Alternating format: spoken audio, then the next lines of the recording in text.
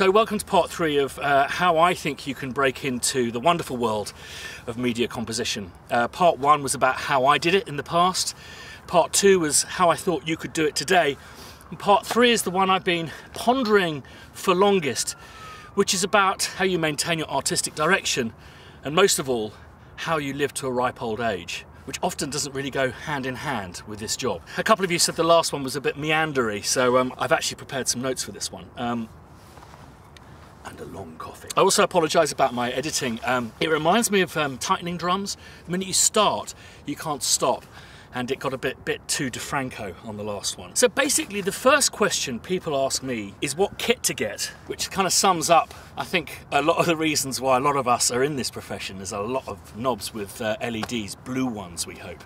Um, I guess this will also explain in many ways why I've set up this vlog away from Spitfire. Someone said to me, oh you, you're kind of doing a Joey and I said well I'm hoping it's going to be more of a Frasier to be honest. Kit, you need a com computer, you need a controller, you need something to hear it through either a pair of speakers or I would recommend a good pair of headphones. And then people go, well, what sounds? And I have to say, the next thing I would do if you're starting out and it's the last couple of hundred quid you've got to spend is for God's sake, don't buy commercial libraries. The next thing I would buy is a microphone and I would set about making my own sounds. The most important first step in your path to success is to find yourself, and you're not going to do that with other people's sounds. The real trailblazers often utter a word, the same one, between them, even if they don't know each other, and that is the word tension. And you know how I go on about starve yourself of resources, become more resourceful? I also think introducing a degree of tension into your work is absolutely crucial. So, Martyn Ware, I went to Sheffield, 1970s, synth pop, where did that come from? And he went, Well, I was a massive George Clinton fan, and, and all I could do is operate this computer. So that created a tension, and out that came. Um, I was talking to a composer who had a rule about um, he had to incorporate the last instrument he had bought into any score that he'd been given. I think he'd gone on holiday to Jamaica and he observed some people playing some steel pans and went, Well, I'm a percussionist. Well, I should get a few sets of those and have a little fiddle around with them, see if I can make some calypso music. And then the phone call went, and a big film came in, and it was a science fiction film. And I have this wonderful image of him going, Science fiction? I think I did a job a few years ago where I basically had carte blanche to be myself, and I really had to ask myself, what is myself? Well, it's an amalgam of all of my experience. It's as uh, John Cage says, um, you know, when you walk into your studio at the beginning of the day, everyone you have walked and every experience you have had is in there with you. And slowly throughout the day, you remove each and every one of them. And hopefully by the end of the day, yourself. Um, I think I'm paraphrasing massively. But I guess, you know, a lot of you are, in college, are going to college. And, and another thing John Cage said is that, you know, the big mistake of college is having 200 people uh, all reading the same textbook, where surely 200 people should be reading 200 textbooks. And I think that that's, that's key. You know, you may have the same top 10 list of, of composers, but they're never going to be in the same order. And their works, you know, your favourite tracks by, I don't know, Prince, may not be Raspberry Beret like it is for me. So as a consequence, you know, your heritage is going to be unique, so you must rely on that. And I think I'm going back to. Uh, something that Dario Marianelli said to me, which is, you know, you have to maintain a connection to your music. And if you allow people to sever that, when he says your music, I think he means your heritage, your history, which you must, you know, it's like it's like a portfolio. You must invest in that. So things like show reels, evidence that you have done, maybe a student movie, this, that, and the other. You know, I've mentioned this in previous ones. I'm not so sure. Be very, very careful about the work you take. And I would really try and say, you know, just never ever work for free. The thing I think that, that is important is to provide brilliant examples of brilliant work. I think back in my day, show reel was really important. It's really important that people could see that you could work to picture. I don't know so much. But I think something that is really important is to provide people uh, with as many good experiences of you as possible. In this day and age, with LinkedIn, with Facebook, people can get in touch with each other. So often I find these days when I'm asked to do a job, um, often what I will find is a producer has gone, yeah, and I spoke to the so and so who did that so and so with you on the thing and said you did a really good job. So I think it's absolutely crucial that people are spreading a positive word of you. And I guess that extends to stuff like social media, stuff that I've been absolutely crap about. And the other thing to do, you know, when you do get your work, or if you're assisting a composer, because I think the best way to learn is is to observe, is to really tune your super ego so you remain right size. Super ego, by the way, is is not your ego as in I've got a super ego, thanks. No, your super ego is the thing that controls your ego. It's the thing that looks outside yourself and goes, "You're acting like a fool. Stop doing that," or keeps you right-sized, keeps you boundaried. And I think knowing where you are in the pecking order is absolutely crucial. A number of times I've seen people screw up because they're saying the wrong things at the wrong time. When you've maybe got a few things under your belt and a director maybe seems a little bit inexperienced to you, the number of times I've written emails that are just shouldn't have written. I have a rule with uh, my wife, and that is that if I have something that I want to say to her that's negative, I just wait 24 hours. And 99% of the time, I just don't say anything at all because I think what we often do is project our emotional reaction to something. Now, a director is not interested in how your experience of this show or film that you're working on is making you feel. Collaboration is a creative negotiation and I think so often it's like, well, I didn't say him I was fucked off. No, you didn't. But you said you weren't going to do that cue because you didn't think it was the right thing to do, and you just did that because he somehow injured your ego. So I would say, hold your feelings, let the feelings ebb away. So that you can then attack the creative negotiation in a pragmatic and productive way. Day jobs, financing your career, well, I think assisting composers is absolutely great. I would always say, try whatever you do alongside composition to make it music. So whether it be piano bars, this, that, and the other. But I feel the greatest restraint and danger to your career is enslaving yourself to overheads. So whatever you do, don't get a day job that's well paid. Don't take a flat that's got really high rent.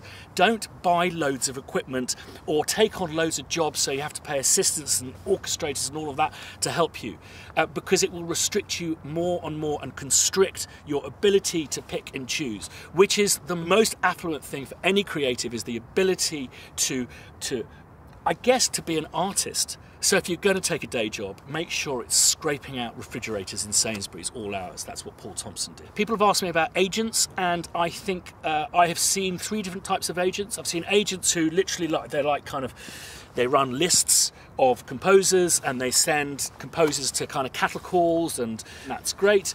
Um, uh, I've seen uh, agents who don't really actively get you masses of work, but are kind of uh, are well connected, and at each different stage will help you, you know, maybe get the jobs, We'll do the negotiations.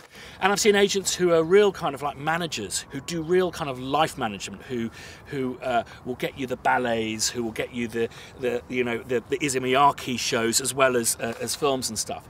Okay, I'm going to stop myself right there because uh, that last statement is a stratospheric disservice to my wonderful agent Maggie and everyone that has worked with her. I'm also going to take us off this horrific freeze frame onto my Becam. Basically, I answered the question in the context of which it is usually asked, which is Will I get more work? Will I become a media composer if I get an agent? And I think that is a fundamental misunderstanding of what good agents do. So when you join an agency, they're not necessarily going to open up the Ark of the Covenant for you and, and melt people's faces with your music. For example, uh, I got on a plane the other day and bumped into a guy who I used to work with, I hadn't seen for about 15 years.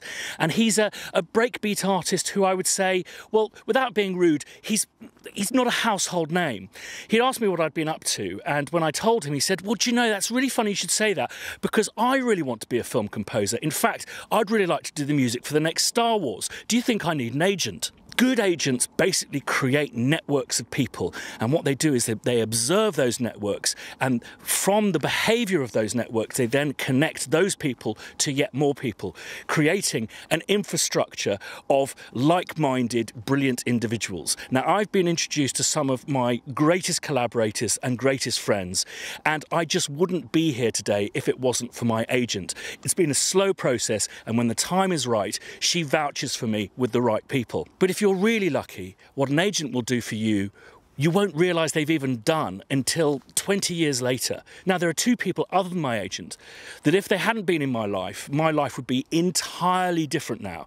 One is Anne Dudley, the other is Rupert Gregson Williams, both of which were introduced to me through my agent, something I have never thanked her for. I do think this is a massively important subject and one that I'm going to return to in a dedicated vlog soon. Because whilst the main players, you know, are perfectly legit, there's a lot of sharks out there. And I think this community may be an opportunity to share our experiences and warn each other off. A quick headline point agents should take between 10 and 15% off your fees. If they want to take 40, 50, 60%, kindly tell them to fuck off. The other thing that agents do from talking to other composers, which is pretty much universal, is they have helped me not walk off jobs and they have stopped me whenever they have got there in time from writing uh, career damaging emails. Yeah, I should have added to that 24 hours till you uh, speak to your wife thing is that I also, if I've had a glass of wine, you hold your feeling until the next morning. Um, people ask about library music. Well, I think it would be a disservice to you for me to offer an opinion on what the library scene is like now. Uh, my entire career's financial base is built on library. Uh, I did a bunch of stuff for KPM, which is now, I believe, EMI. Uh, some of which was incredibly lucrative and helped to, to be this kind of seed funding for Spitfire. So, yes, I think it's absolutely amazing, and yes, it's earning money doing great stuff, meeting great people. Um, so I think library is wonderful, but I don't really know what the, the lay of the land is now. I think that there are lots of library companies. And from what I've heard, maybe three of them, you know, have a massive market share, and you should, if you're not with them, it might not be worth it. If you do get a few tracks away on library, though, uh, just talking about going back to the idea of business planning, don't expect to see anything meaningful from them for at least three years. One little tip with library is don't be kind of creative with the names at all. Uh, just describe what the track is. I know someone who makes a huge uh, living out of library, and he says by far his biggest earner is a track called Low Deep Drone. I guess the other thing you may have noticed whilst talking to other composers, and this is something I'm trying not to be on this vlog, is, is a kind of curmudgeon. But there are a lot of people who don't seem to enjoy it, and it was extraordinary for me at the beginning of my career meeting these composers. Like, well, you're writing music to spaceships, and then it's in the cinema on the lights and the curtains and your name, and it's you, and there's orchestras we really are ruled by this idea of you know uh, uh, an ambition an ambition we formed when we were five or six years old. I'm not going to repeat what i said earlier about all this but you know there's so many of us wanted to be train drivers when we were younger and i don't think i've met that many kind of particularly happy train drivers to be honest. So don't be surprised if there are aspects to what you dreamt of doing that don't make you happy. The one thing i would suggest is you know make sure that you're really good at hitting reverse on your career. You know a career trajectory is never like that. You want it to be like that. And I think, you know, it's good to go into cul-de-sacs, but it's good to understand when you can reverse out of them. So for me, one of the ambitions was, you know, I wanted to write the score to, I don't know, Blade Runner, Ben. But, you know, I've done some spaceshipy things and I did enjoy them, but the stuff that made me, that gave me the most joy was writing music for a Belgian 1930s detective series. Definitely the best job I've ever done. I think there's no harm in diversifying. And indeed, you know, I work with a lot of people, even at Spitfire, who have gone into this profession and absolutely horrified by it. I think that you can expect to work long hours. I would query and question this thing of working a 17 hour day, seven days a week. I read this article about palliative nursing, and they, they, they were unified in one opinion, and that was the single most uttered regret was from guys saying they wish they'd worked less. I don't think anyone on their deathbed goes, I wish I'd worked more.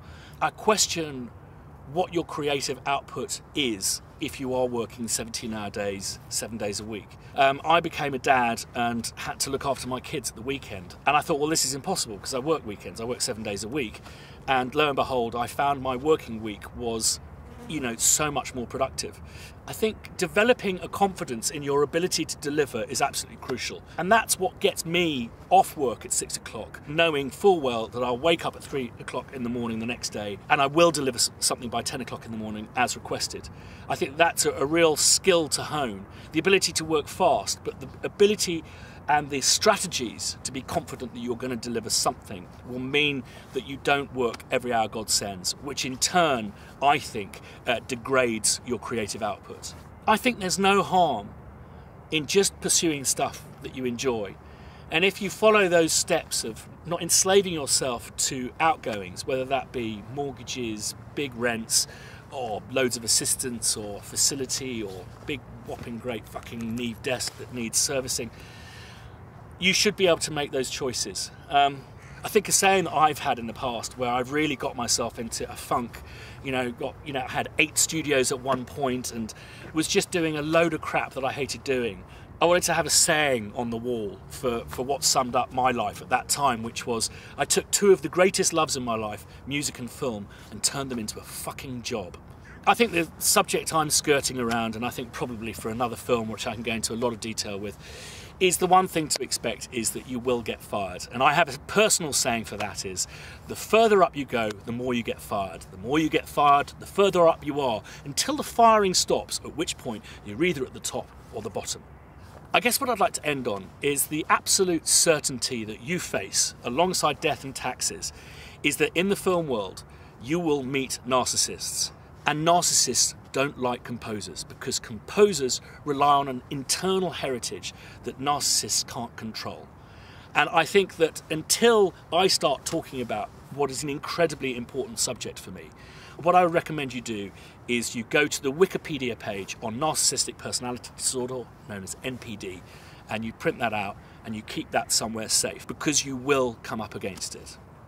One final word is just for God's sake, look after yourself. Uh, this you are in it for the long haul, um, and I've seen people, you know, just develop a coke habit, but not like coke cocaine, like Coca-Cola, just Red Bull and pizzas and you know I've seen really amazingly fit and healthy nubile chaps go from that kind of Grecian look to you know studio zombies and I really really do worry about um, losing friends you know now at the age of 45 and stuff you start looking at the previous generation and a lot of film composers who fell by the wayside as someone said to me once, you know, we're not at war. This is fucking entertainment.